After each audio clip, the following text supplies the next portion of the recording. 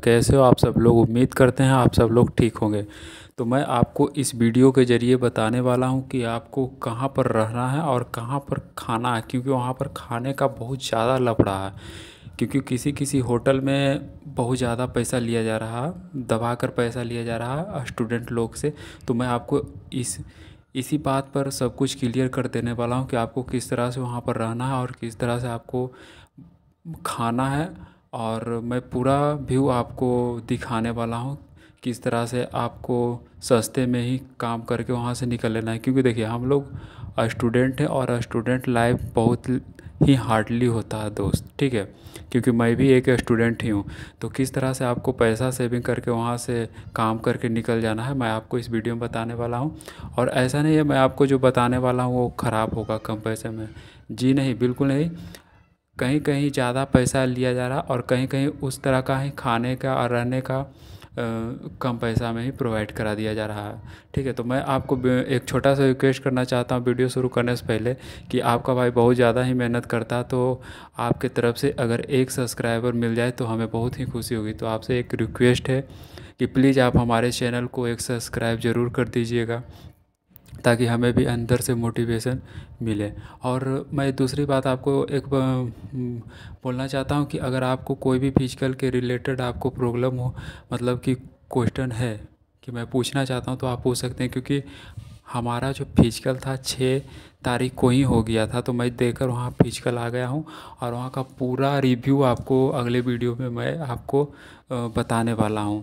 तो उस क्या क्या अंदर हो रहा है किस तरह से आपका रनिंग कराया जा रहा है चेस्ट किस तरह से लिया जा रहा है हाइट किस तरह से लिया जा रहा है वेट किस तरह से लिया जा रहा है। डॉक्यूमेंट में क्या लग रहा है? टे, टेस्ट हो रहा है या नहीं हो रहा ग्राउंड कैसा है? रोड है या ग्राउंड है? मट्टी का ये कितने किलोमीटर का है? सब कुछ डिटेल बताने वाला हूँ। कितने टोकन मिल रहे कितने चक्कर मारने हैं? सारा कुछ मैं आपको अगले वीडियो में बताने वाला हूँ। तो आप लोग हमारे चैनल को को सब्सक्राइब करना बिल्कुल भी ना भूलें और अपने दोस्तों तक भी ये वीडियो को ज़रूर शेयर कर दीजिएगा, जिनका भी इस सेंटर पर फ़िज़िकल है। और उन दोस्तों तक उन दोस्तों से भी एक छोटा सा रिक्वेस्ट करना चाहता हूँ कि आप लोग भी हमारे चैनल को सब्सक्राइब कर लीजिए, क्योंकि आने वाले टाइम में हमें इस सेंटर पर क्या क्या हो रहा है, प्रोसेस, पूरा फुल रिव्यू मैं आपको इस वीडियो पर, इस सेंटर पर के बारे में बताने वाला हूँ वीडियो के ज़रिए से तो आप लोग चैनल को सब्सक्राइब करना बिल्कुल भी ना भूलें। और चलिए मैं आपको वीडियो के ज़रिए से दिखा देता हूँ कि किस होटल में आपको खाना है और कि कहाँ पर आपको रहना है। क्योंकि रहने के लिए एक पतिरम धाम मंदिर है, जहाँ पचास रुपया सिर्फ़ लिया जा रहा है और बहुत ही अच्छा है, एक रात गुजारने के लिए काफ़ी अच्छा है। तो चलिए आइए वीडियो को शुरू करते हैं और वीडियो के ज़रिए से मैं आपको पूरा क्लियर बता देना चाहता हूँ। क्योंकि जब आप वहाँ उतरिएगा सेंटर के पास तो आपको ज़रा सा भी प्रॉब्लम नहीं होना चाहिए जितना हमें हुआ है। तो इस वीडियो को देखने के बाद आपको पूरा दिमाग में सेट हो रहेगा कि इस तरह से किस एरिया में क्या है, किस एरिया में क्या नहीं है। तो चलिए आइए वीडियो को शुरू करते हैं। ये देखिए, ये बीएसएफ का कैंप है, जो कि इकसठ बटालियन है। मैं यहाँ पर आ चुका हूँ, जैसे कि आप लोग देख रहे हैं। और इधर जो देख रहे हैं, ये बस का एरिया है। इधर से आप आइएगा तो बस के तरफ़ से ही आइएगा।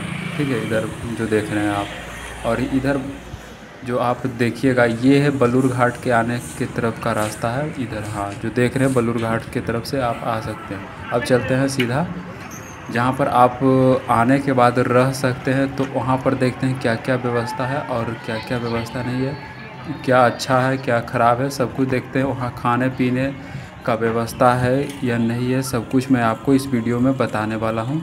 तो इस वीडियो को पूरा देखते रहिएगा और जैसा कि आप लोग देख रहे हैं, साइड साइड से आपको दिख रहा है, होटल वगैरह दिख रहा है तो मैं आपको बताने वाला हूँ कहाँ सस्ता और कहाँ महँगा भोजन मिलता है। क्योंकि देखिए, हम लोग स्टूडेंट हैं और हम लोग का काम है थोड़ा सा सस्ता, अगर कहीं मिलता है तो उसे उपयोग करते हैं। तो चलिए देखते हैं कौन सा होटल में सस्ता मिलता है खाने ये भाई लोग भी आए हैं। फ़िज़िकल देने के लिए हमने बात किया था। जैसा कि आप लोग देख रहे हैं, बगल में ये जो है, ये होटल है। ये ये भी ठीक भोजन बना कर देता है। देखिए। यहाँ पर अंडा मिल जाएगा आपको दस रुपये अंडा और पाँच रुपये रोटी के हिसाब से दिया जाता है। मैंने बात किया, इसने बोल रखा था। आप चलते हैं रहने की व्यवस्था को देख लेते हैं। ये देखिए ये देखिए, ये, यहाँ पर भी आप एक होटल छोटा सा देख रहे हैं, यहाँ पर भी खाना बहुत अच्छा मिलता है। देखिए देखिए, कोना पर जो है। अब चलते हैं हम लोग मंदिर के अंदर, जो कि, मंदिर के अंदर रहने की व्यवस्था है। पतिरम मंदिर, हम लोग एंट्री कर रहे हैं, जैसे कि आप लोग मंदिर देख रहे होंगे। देखिए, हम लोग एंट्री अभी कर रहे हैं। अभी थोड़ा सा साइड का व्यू भी मैं आपको दिखा देता हूँ। देखिए ये लड़के लोग भी आए हुए हैं फ़िश करने के लिए। काफ़ी लड़के वहाँ पर ही पहुँचे हुए हैं और खुशी की बात तो ये है कि काफ़ी लोग बिहार के लड़के आए हुए हैं। ये देखिए पतिरम धाम का मंदिर का गेट है। इस गेट से हम लोग एंट्री करने वाले हैं। एंट्री कर लिए। और देखिए ये ये जो मंदिर का मंदिर का मैंने व्यू भी थोड़ा सा लिया है क्योंकि मंदिर है। इसीलिए मैंने सोचा चलो मंदिर का भी थोड़ा सा कवर कर लेते हैं। ये देखिए पतिरम धाम। तो आपको आने के बाद ना कोई भी दिक्कत नहीं होने वाला। मैं इस तरह से वीडियो आपको शूट करके दे रहा हूँ कि आपको ज़रा सा भी प्रॉब्लम नहीं होगा। जिस तरह से हमें प्रॉब्लम हुआ, उस तरह से आपको कभी भी प्रॉब्लम नहीं होगा। देखिए, ये ये देख रहे हैं पानी का। इस एरिया में जब आप रहिएगा ना तो ये फ़िल्टर, ये जो पानी है, ठंडा पानी आपको यहाँ से प्रोवाइड हो जाएगा। तो आप यहाँ ठंडा पानी भर सकते हैं। अभी इस गेट से हम लोग अंदर चलते हैं और देखते हैं क्या क्या व्यवस्था है। हम लोग एंट्री कर रहे हैं। देखिए, ये छत पर जाने के लिए, लेकिन बंद है। देखिए, हम लोग एंट्री कर लिए देखिए, काफ़ी ज़्यादा पंखा भी लगे हुए हैं और देखिए, बहुत सारे लड़के आए हुए हैं। और सभी का सभी बिहार का ही है।